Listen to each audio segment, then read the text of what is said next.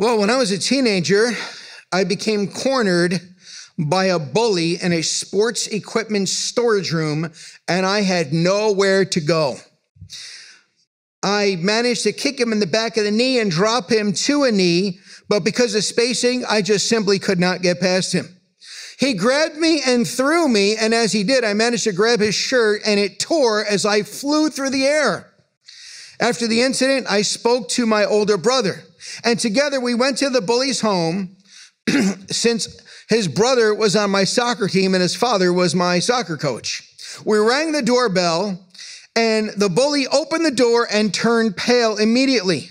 My older brother made him an offer he couldn't refuse, which sounded something like this. If you touch my brother, I will break your face. my brother had been my advocate against my adversary. And I could walk past that man without fear, and he dared not lay a hand on me because my brother was my advocate. But today, I have a greater brother, and so do you. Jesus Christ, a brother born for adversity, Proverbs 17, 17, the friend of sinners, our advocate who pleads on our behalf as sinners.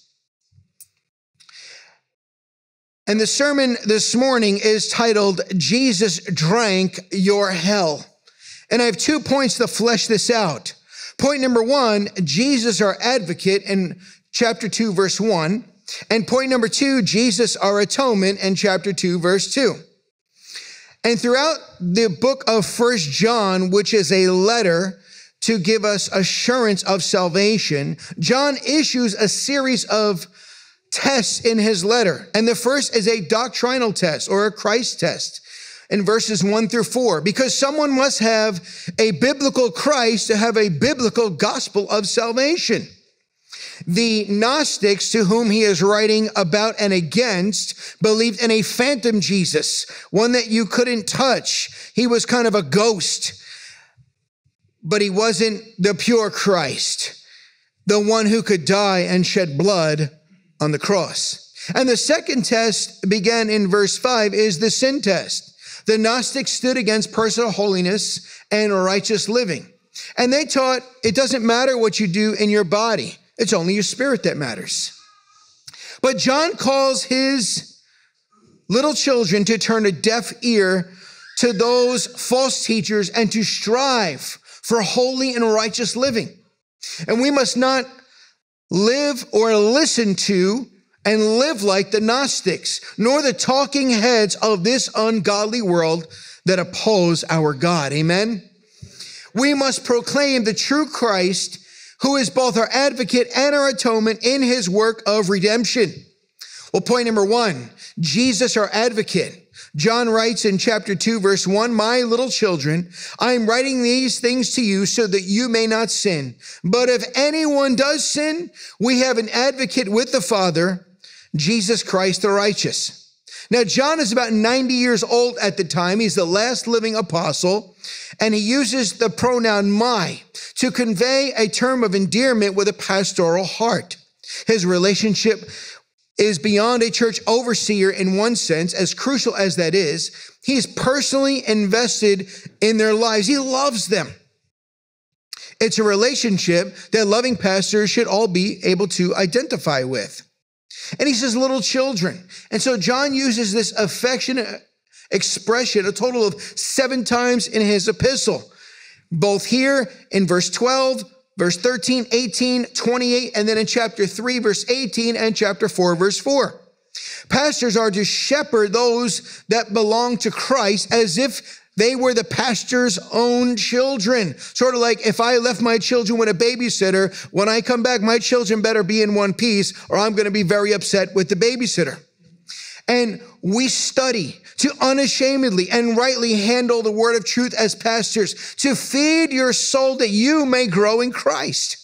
Our primary job description is to constantly nourish as we preach and teach God's word to you in season and out of season, and to reprove, rebuke, correct, and exhort with complete patience and teaching, making disciples of all nations for the glory of God. And I see many nations here in this church, and we have many nations represented in our church as well. Amen.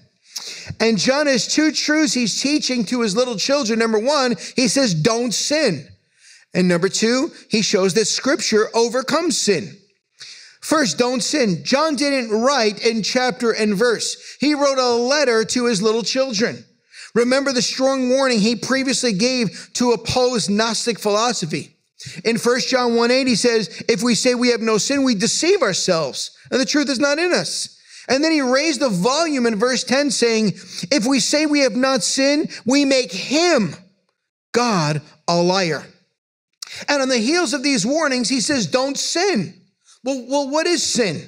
Well, first John answers that question in chapter 3, verse 15, which states sin is lawlessness. It's insubordination. It's refusal to submit to God's law. It's cosmic rebellion against a holy God. It's serious business. 1 John 3 8 says, the reason the Son of God appeared was to destroy the works of the devil. Christ came and suffered to destroy sin. And Paul said that Christ died to purify for himself a bride in Ephesians 5. He gave himself for us to redeem us from all iniquity and to purify for himself a people of his own who are zealous for good deeds. In Titus 2:14, therefore, whenever we sin, we join those who call the cross foolishness, because the cross purifies us from sin and gives us victory over sin. And hear this, when we sin, this is what we're saying to God. You, me, everybody you know who is living for Christ is saying this, Lord, I do not regard your suffering as a sufficient incentive, motive, or reason to prevent me from doing this. So I'm going to do it anyway. We who know better, when we sin, we're saying, I, I know you died for me and I know you're all I need, but I'm going to do this anyway. You ever think of sin in such ways? Our sin suggests the nature of Satan rather than God's nature in us. Not that we have a satanic nature in any way, but it shows that we're kind of dipping into, we kind of want to go back to Egypt for a moment. The Christian no longer loves sin, but he loathes his sin. He hates his sin. It becomes to him as a deadly serpent whose shadow is to be avoided. And so John is basically saying none of us are perfectly sinless and highlights God's cleansing for our sin. Some can gravitate to extremes in respect to sin, such as some try to live uh, in uh, a solitary life away from sin, and then they fail to evangelize one soul for Christ. Many live hopeless, believing, you know what, my sin, it just could never be conquered. Others confess their sin and they still feel guilty. Perhaps God hasn't forgiven me. Many isolate themselves. They don't want to be around God's people because they'll say, I'm, I'm not worthy to be among God's people because I've sinned. If that were the case, none of us would be here this morning, would we? The other extreme is called antinomianism, meaning no law. That's complacency, sinning to our heart's delight. Because Christ won't forgive us, since because Christ will forgive us, we say, sin's no big deal. It's like having a get out of jail free card at Monopoly. And John addresses the heart attitude concerning sin because we are to be insulated from the world. We're not to be isolated from the world. Our water is to be in the boat of this world. We're just not to take the water from this world into the boat of our lives. Do you avoid sin in whatever forms you know yourself to be weak and susceptible to? You know the triggers in your life. You know that if I do this or if I go here, or I talk to this person or I look here, uh, you know, that's going to trigger in me. So you know your weaknesses and I know mine. And the enemy knows all of our weaknesses and wants to exploit those weaknesses and draw us in. Our flesh craves some of those things that we left. Charles Spurgeon illustrates some birds dip their wings into the water and then fly back up into the skies, while others, like ducks, can swim or dive under the water. The Christian just sometimes touches with the wings, the streams of earth, but then he soars back up to where he should be. It's only when the sinner can swim in, it's only the sinner that swims in sin and delights in it. Secondly, scripture overcomes sin, which is why John says, I'm writing to you so that you may not sin.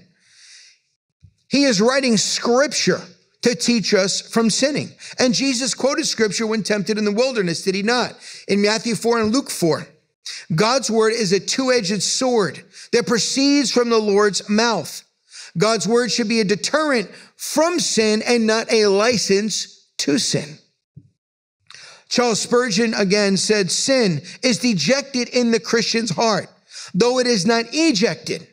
Sin may enter the heart and fight for dominion, but it cannot sit upon his throne. Does sin sit upon the throne of your heart this morning? 1 John 1 9 reminds us that Christ is faithful. He is true to keeping to all of his word, as he is completely dependable, utterly faithful. We are his, and he made a covenant with us in his blood. 2 Timothy 2 13. If we are faithless, he remains faithful. He is just because our sin has been paid for in full by Christ on the cross for all eternity. We are the elect ones, the bride of Christ. John called Christ our advocate. And the word advocate is parakletos in the Greek or paraclete and occurs five times in the New Testament. Does that word sound familiar to you? It should. It describes the Holy Spirit four times, but here it refers to the Lord Jesus himself.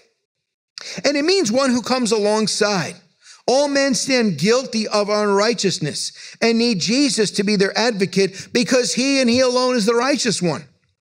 This advocate is sinless, undefiled, and spotless in his nature and in all of his action, and there is none like him. And there are six matters displayed pointing to Christ's perfect fitness as our advocate. And first, it shows us he's a divine advocate. He is our advocate with the Father. And that word with is a Greek preposition, pros, meaning closeness in relation or proximity, speaking face to face in closest intimate fellowship with. No mere prophet, priest, king, not even angel in heaven could be our advocate.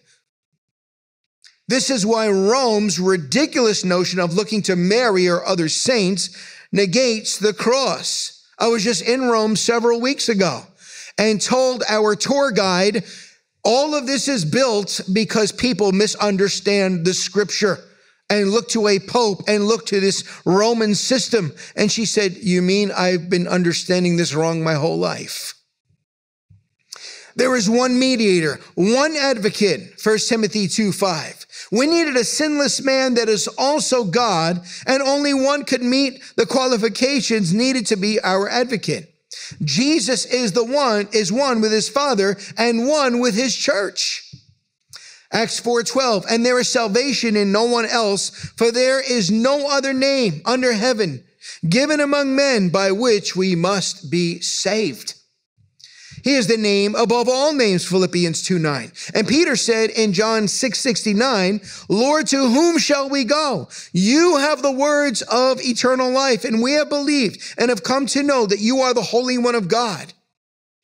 Is there any advocate in all of creation that can argue more forcefully, perfect, perfectly, and victoriously than Jesus Christ?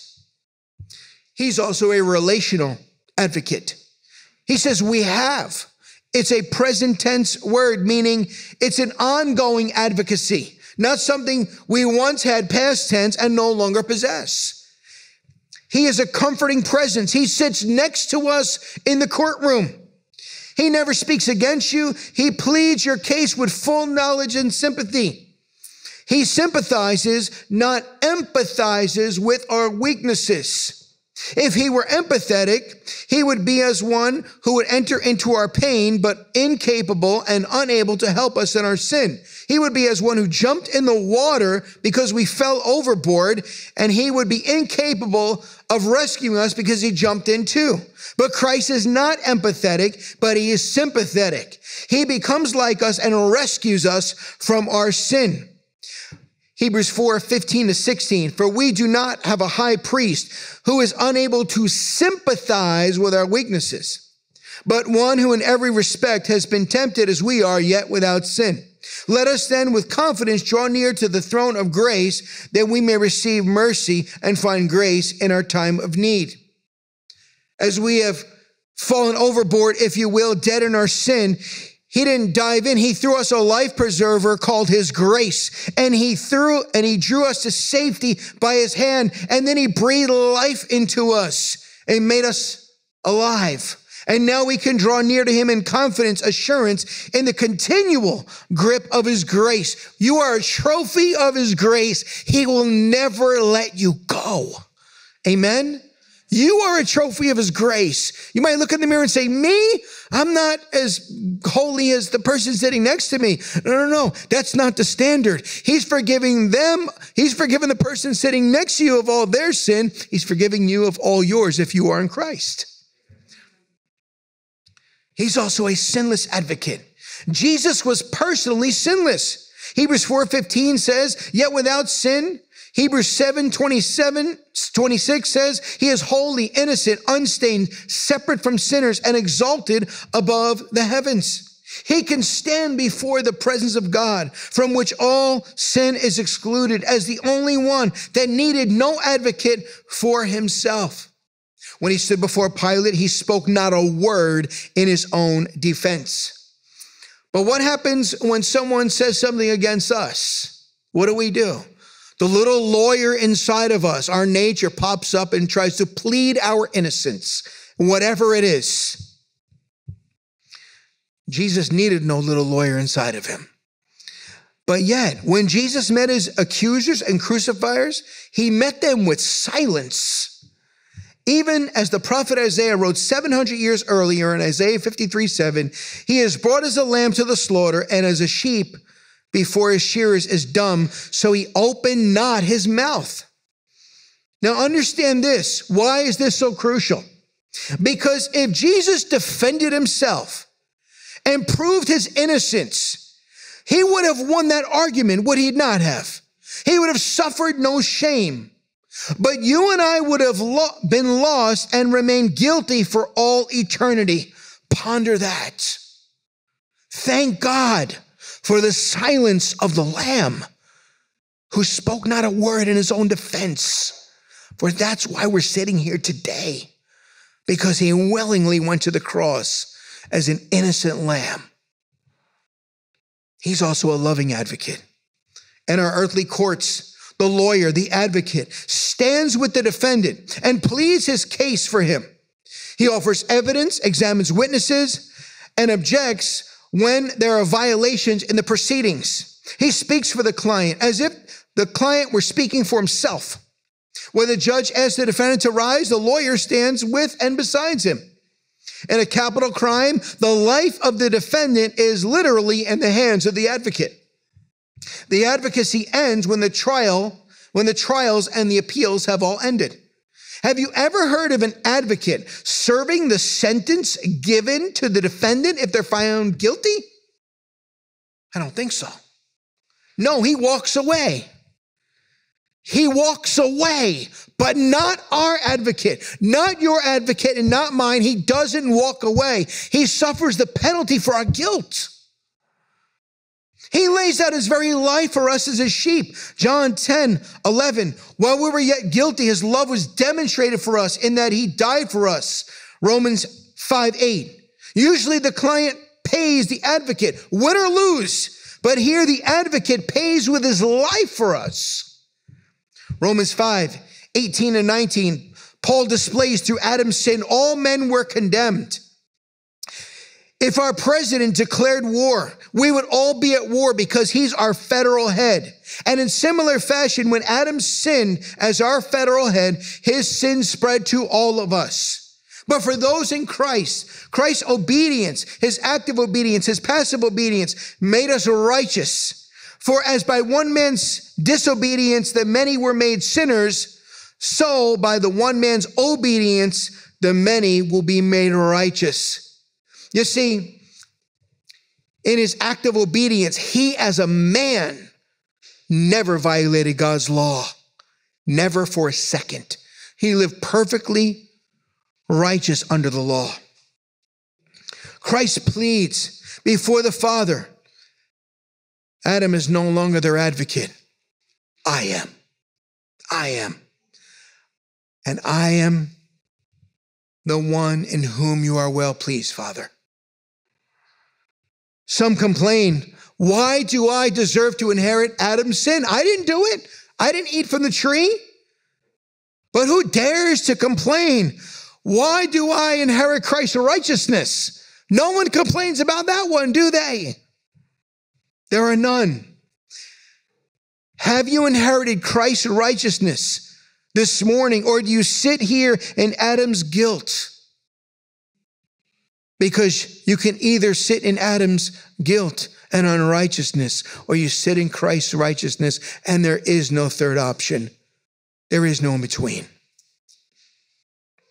His forgiveness is an act of his justice being served.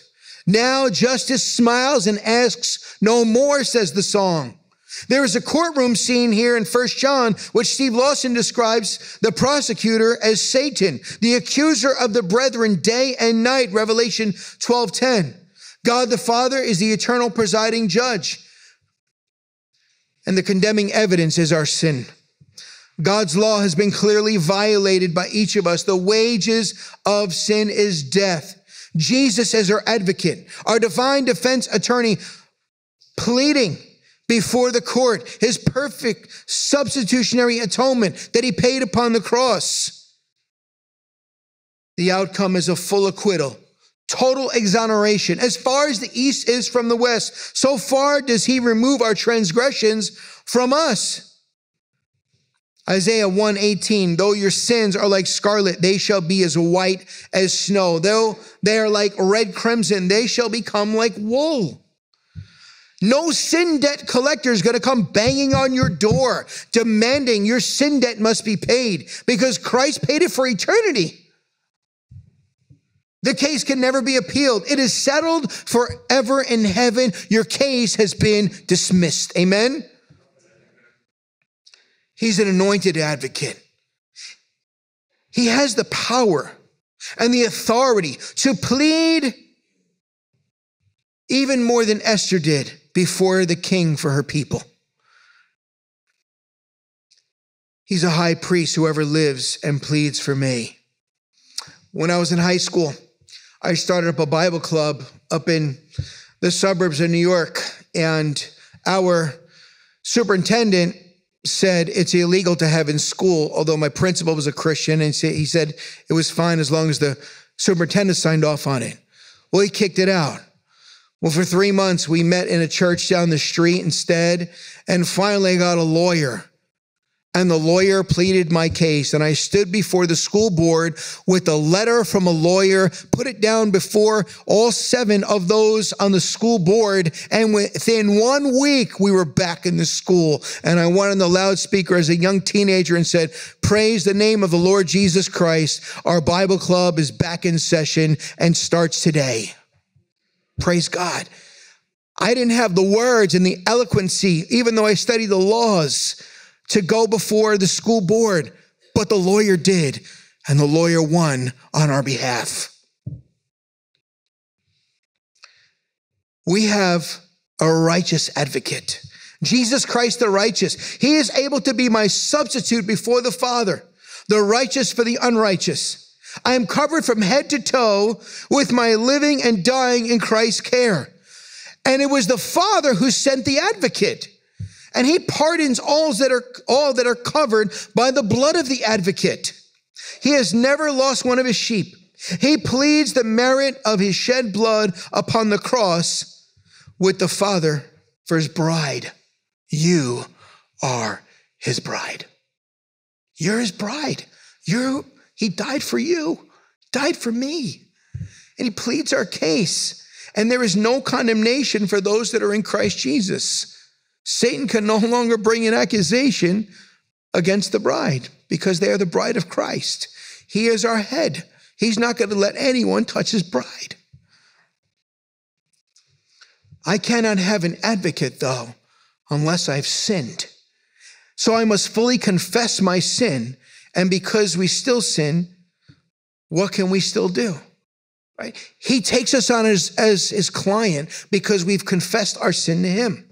He continues to be our advocate, and we continually confess our sin before him.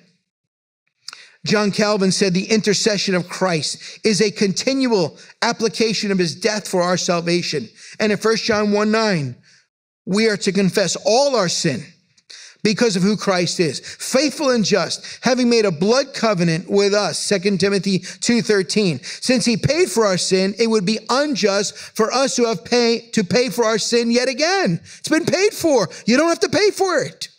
Nor could you, because you would have to pay for it for all eternity and you would never finish paying for it, would you? This is why hell is an eternal punishment. Martyn Lloyd-Jones says the best way of not sinning is positively to be living the godly life. And that means walking in the light. In other words, it means living for God's glory. Spurgeon said, if the devil comes to you and you get into an argument with him, he will beat you, for he is a very ancient lawyer and he has been at that business for so many ages that you cannot match him. So what should you do? Send him to your advocate, the Lord Jesus, and say, talk to him. Amen. Talk to my advocate. Don't talk to me. Is Christ your advocate today? Or will you try to advocate, advocate for yourself? In which case you will lose in the sight of a holy God. For what evidence will you put before God to show any reason that he should pardon you? Look to the advocate. And so we looked at Jesus as our advocate, but also point number two, Jesus our atonement. Verse two, he is the propitiation for our sins, and not for ours only, but also for the sins of the whole world. Well, this word propitiation, what does it mean? And I, I want to make this word so clear that a child can understand it. It's a Greek word, hilasmos, meaning appeasement or pleasing someone who is angry. It was turning away of anger by offering a gift. So if a child disobeyed their parent, for a moment. And then the child said, Mommy, I'm, I'm just so sorry for what I've done. And the mother or father says, that, that That's okay, honey. I, appreciate you coming to me and telling me what you've done and been honest with me. And so now the, the parent is appeased at that moment. They're satisfied that the child has come forth and um, try, try to make amends, not just in what they've done, but in the relationship because there's a relationship rift that is that happens a lot of times when children disobey their parents. It was often used by the pagans in antiquity. When disaster struck, it was often thought that there was a God who was angry, and therefore he's punishing his worshipers. This is the mindset of the boat that Jonah was on, right? Everybody pray to your God. And then the captain runs down and wakes up Jonah and says, you know, pray to the God that you serve. And Jonah's thinking, I'm running from the God and he, I'm trying to sleep, sleep it off. And you're telling me to pray to, to the God I'm running from. Somebody must have the right wavelength. And then when Jonah came to the surface, he told them what to do, throw me overboard and the storm will cease. And so the remedy was to offer gifts as a sacrifice to the gods without delay. But biblically, propitiation means appeasement necessitated by sin. God is holy and righteous, and he can't tolerate our sin in his presence. Let's look at propitiation from an angle, though, that we normally do not often do. We usually think of the effect of the cross in light of how we benefit as sinners. As sinners, Christ's redemption has bought us and been applied to us. Forgiveness means his death has pardoned us. His justification means that Christ imputed his righteousness to us. God reconciled us in that he made peace with us who were rebels, and in doing so adopted us who were formerly children of Satan and children of wrath and brought us into the family of God. And here's the big question though. What effect did the cross have upon God himself? propitiation involves the Father, the first member of the Trinity, and how his divine concern far exceeds our own, as his thoughts and ways are not ours. But as the heavens are higher than the earth, so his ways and his thoughts are higher than ours. Uh, ours, Isaiah 55, 8 through 9. Why is propitiation necessary? Because God's holy and we're not. We have sinned and God must be satisfied. And we are first introduced to blood sacrifice in Genesis. After Adam and Eve sinned, they tried to cover themselves with what? With fig leaves. But what did God do? He slayed an animal and covered them with the skins, a blood sacrifice to cover their sin and clothe them. Then Cain would come along and bring an offering to cover his sin. And what did he bring? Something from the ground, just like his parents did. His parents brought fig leaves, and he brought things from the ground. And God rejected both him and his offering. Abel brought the blood of a slain animal, most likely a lamb, and offered it to God, and God accepted it. But then Cain turned around and killed his brother Abel. Abel's blood offering pointed to Jesus Christ. In Exodus 12, 7 in Egypt, God told his people, take some of the blood and put it on two doorposts and the lintel of the house. And in verse 13, God said, the blood shall be a sign for you on the houses where you are. And when I see the blood, I will pass over you, and no plague will befall you to destroy you. When I strike the land of Egypt, and in verse 23, the Lord will pass through to strike the Egyptians. And when he sees the blood on the lintel and on the two doorposts, the Lord will pass over and will not allow the destroyer to enter your house to strike you. You see, God demanded the blood of the sinless lamb to avert his wrathful plague and the killing of the firstborn. And then after leaving Egypt in Exodus 25, 21, it reads, and you shall put the mercy seat, Hilasterion, on the top of the ark. And in the ark you shall put the testimony that I give you. But listen to the language from the Septuagint, the Greek Old Testament, which says, and you shall place the propitiatory on the ark above. And in the ark, you shall deposit the witnesses, whichever I give you.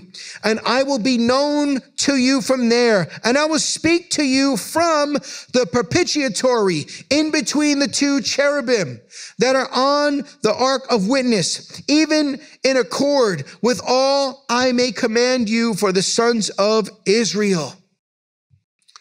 We are incapable of fulfilling God's prescription Yom Kippur was the yearly sacrifice made for Israel the day on the day of atonement. Millions of sacrifices were offered throughout history and never once did they satisfy God, perhaps only pacified him.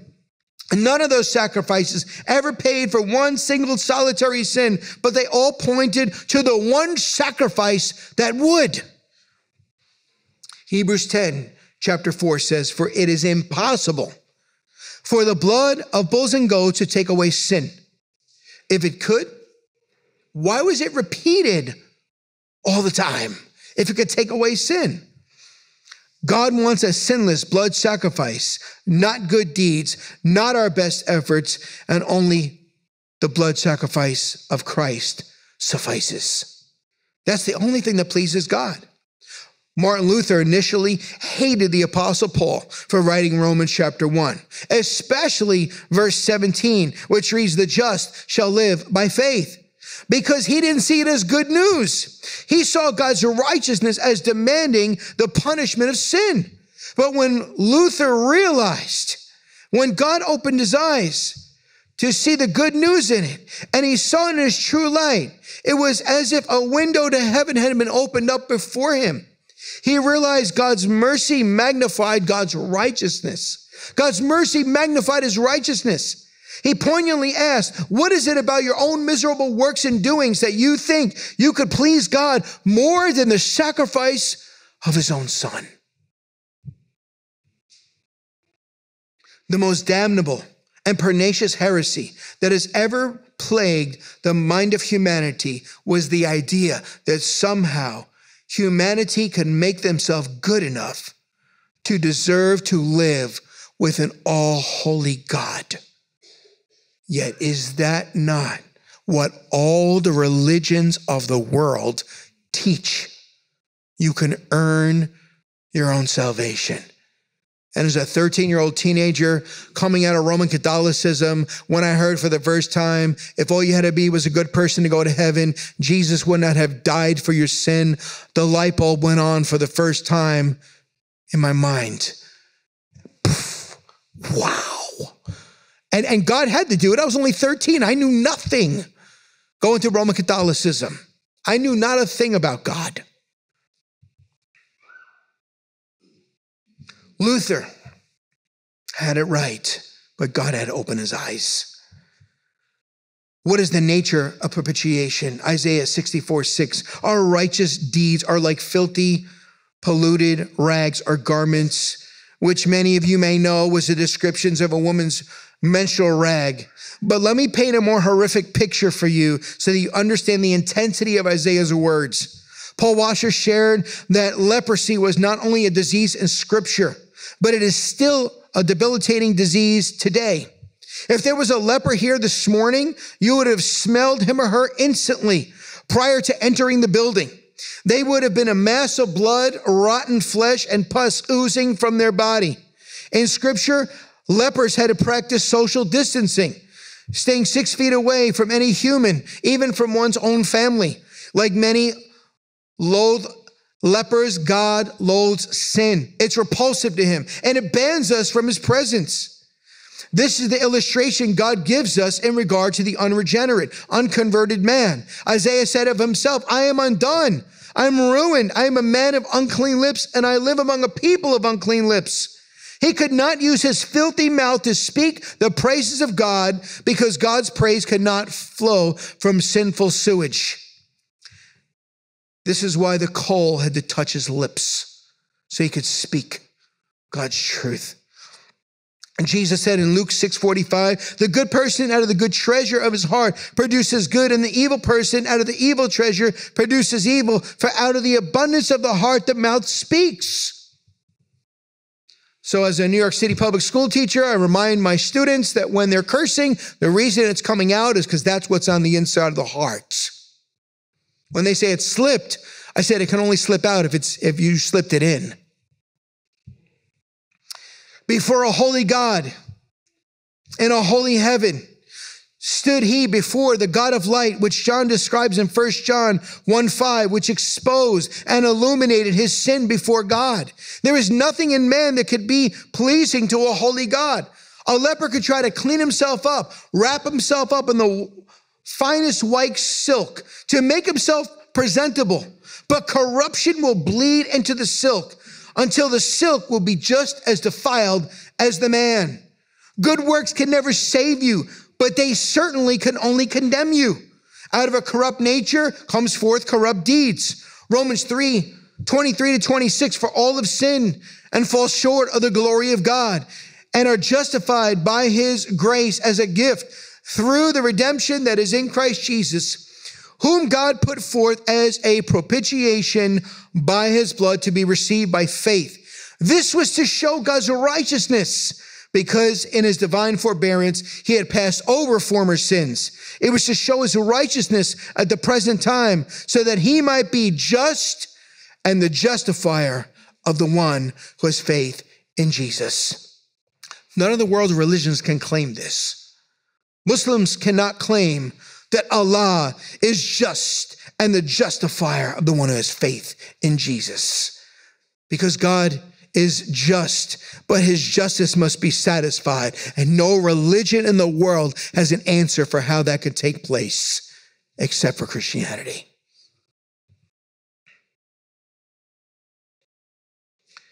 We deviate from God's law. Either we fail to do what it commands or we do what it forbids. Everyone that has ever lived has broken God's law and is under a curse. What does it mean to be under a curse? Apart from Christ, our final reality before we take our first step into hell would be all creation rising to his feet and applauding that God has purged the earth of us.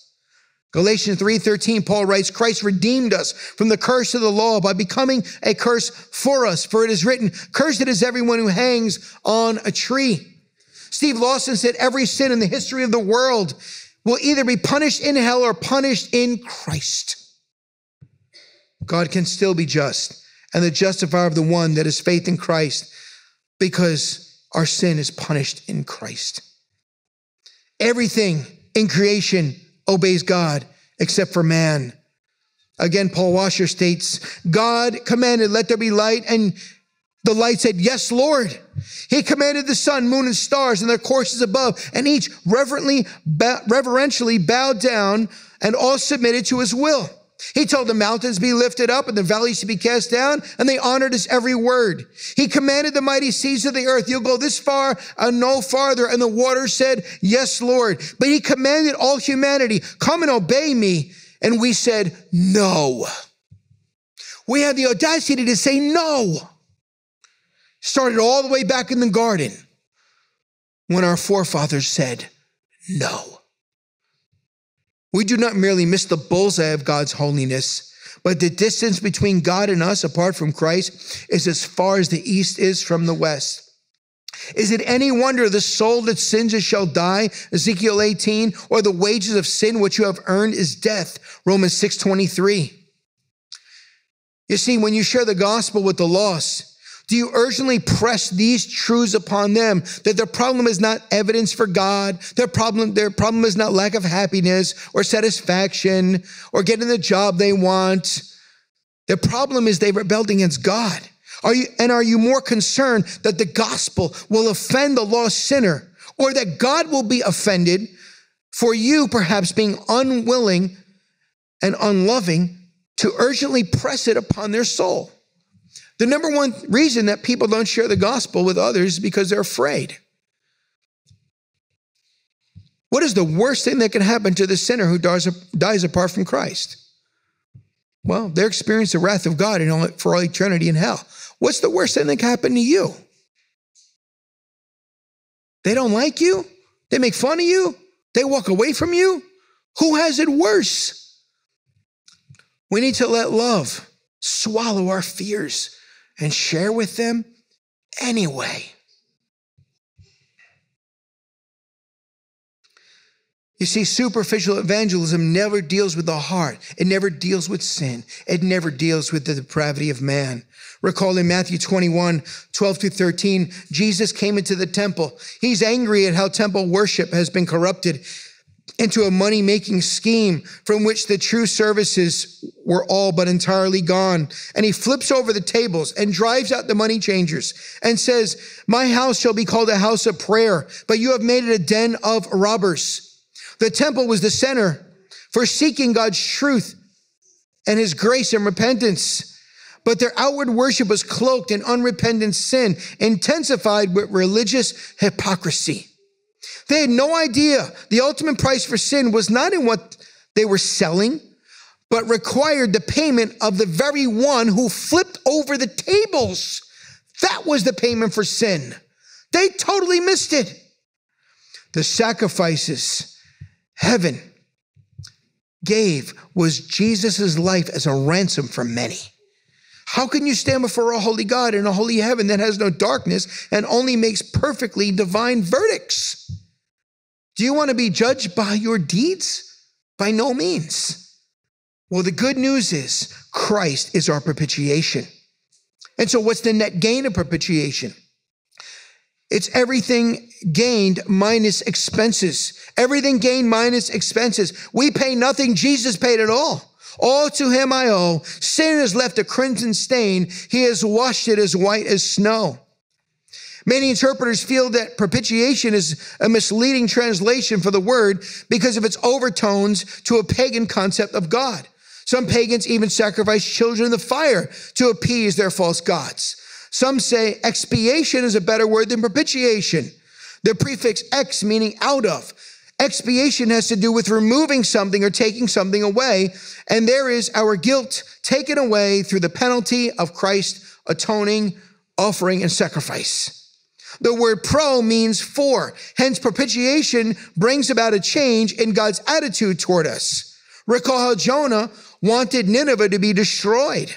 And yet, upon their repentance, God caused within them his wrath was averted. What can wash away my sin and appease God? Nothing but the blood of Jesus. Hence, propitiation and expiation were both done at the cross. In the garden, Jesus asked for the cup to be taken from him. But what was in that cup?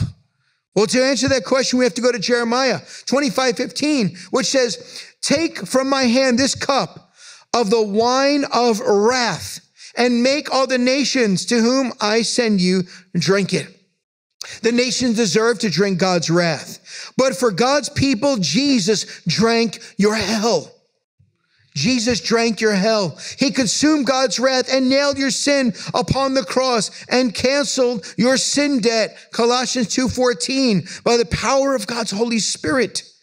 God the Father had momentarily forsaken his son because his love could not be at the expense of his justice. No angel could have fulfilled the payment. A sinless man had to pay. A sinless man that was also God. He is the spotless lamb. 1 Thessalonians 1:10. Jesus who delivers us from the wrath to come. And we know for many right now, the wrath of God abides upon them. Romans 1:18. Everyone you know apart from Christ, the wrath of God sits upon them and builds and builds and builds, and they'll have no excuse. That's why all of that needs to come off of them. And if you're familiar with Pilgrim's Progress, when he went to the cross, the burden fell off. How much wrath does God have for the ungodly? Jonathan Edwards describes this in Sinners in the Hands of an Angry God. He says, if you were to die this moment and be like a spider on a puny web dangling over the flames of hell with no escape and throughout all ages to come and be made to face relentless pounding and unleashing eternal fury upon the damned souls in hell for eternity, what could you do? Answer, nothing. Nothing. Only the hand of God Himself could keep you safe in His care, and only one that belongs to Him would keep him in the grip of His grace. God grabbed that little spider's life, and it would not be even singed by the flames, and made you His own child. Amen. The question is asked how can one man suffering a few short hours on a cross under God's wrath, make an eternal payment for a multitude of men and save them for eternity in hell. Well, God poured his wrath out like a laser beam upon Christ in the span of three hours from 12 noon to 3 p.m. He snuffed out the sun, the S U N, and everything went pitch black as Christ was baptized under the full weight of God's fury against God. The one that died on the tree was the ruby of righteousness, the gemstone of heaven, the precious Son of God, worth more than all men put together. He is an infinite and eternal value, such as no man has ever known. Christ is our greatest treasure. Is he your greatest treasure right now? Or something else more valuable in your heart than he is? because whatever it is, it's chump change compared to Christ. Who among us has such impeccable virtue, merit, piety, and worth compared to the Son of God Himself? In Psalm 22, it speaks how Christ was forsaken, and it says God is holy. And then it says Christ is mocked. He's poured out like water. In verse 16, it describes his hands and feet as pierced. And many don't realize it wasn't the physical death of the dreaded Roman cross, it was a wrath of God that he drank down. Jesus drank your hell. That's today's sermon title. Jesus drank your hell. Death momentarily ceased him, and many mocked him.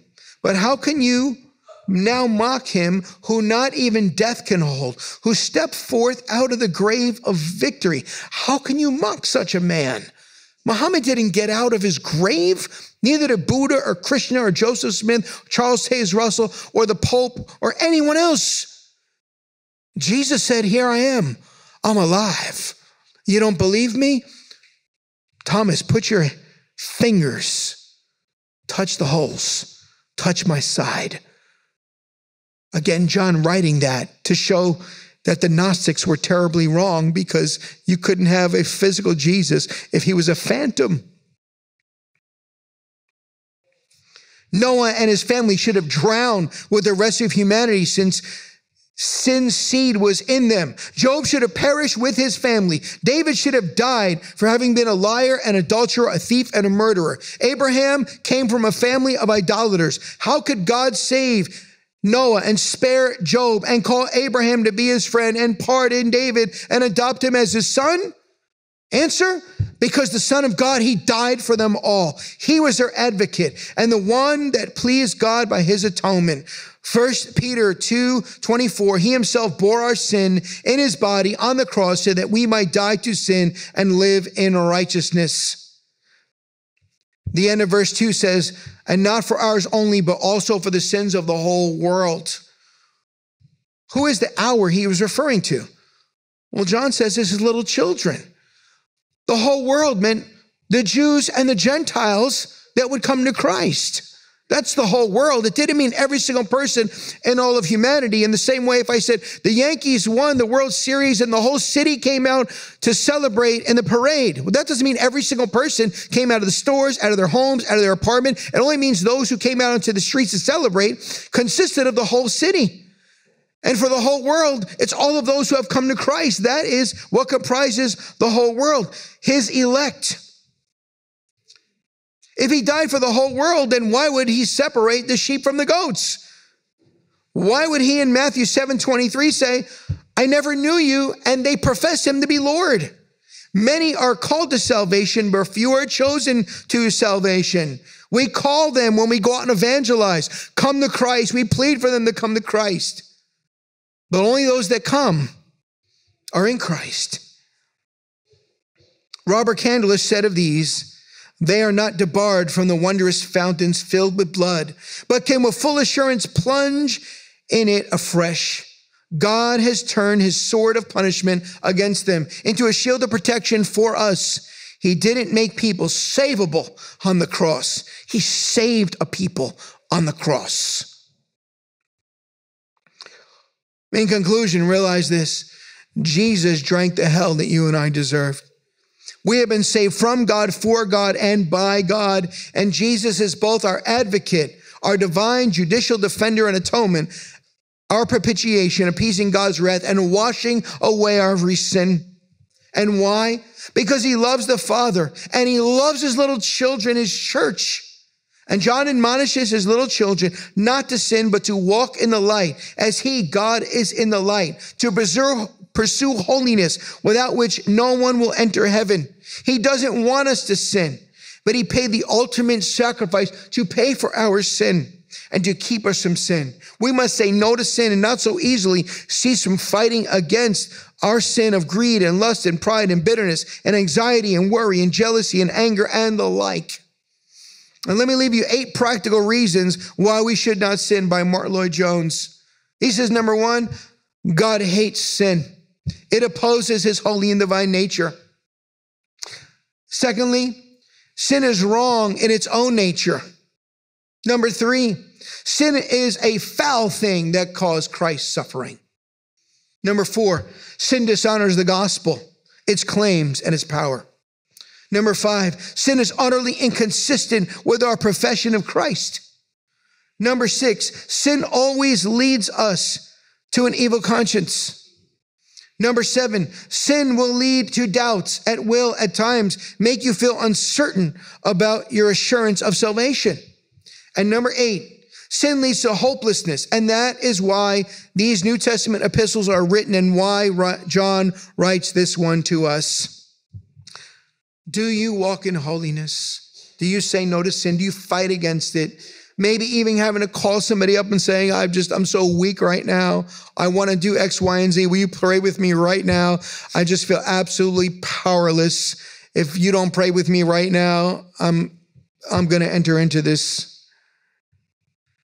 And secondly, do you warn family, sinners, co workers, friends that God will punish them apart from Christ. I have a coworker I've been sharing the gospel with, and he said, Well, you know, when I die, I'm going to use, he said he's going to use me and someone else he knows and a, a family member that's a priest, and he's going to use all these people as his advocate. I said, that'll never work. I need an advocate. Certainly, you cannot use me. And if you're not a Christian, you don't have an advocate this morning.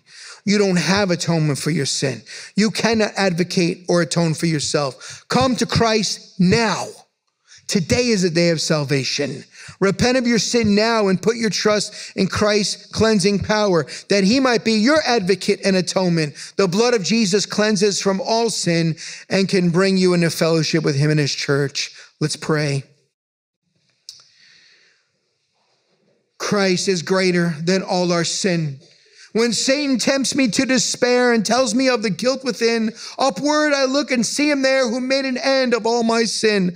My soul is purchased by his blood. My life is hid with Christ on high, with Christ my Savior and my God. Make us bold to preach the gospel to every creature, since we know there is no limit in the value of Christ's atonement. Though still we know that this design is for the very chosen people of God alone in his definite atonement upon the cross. We thank you in Jesus' name. Amen.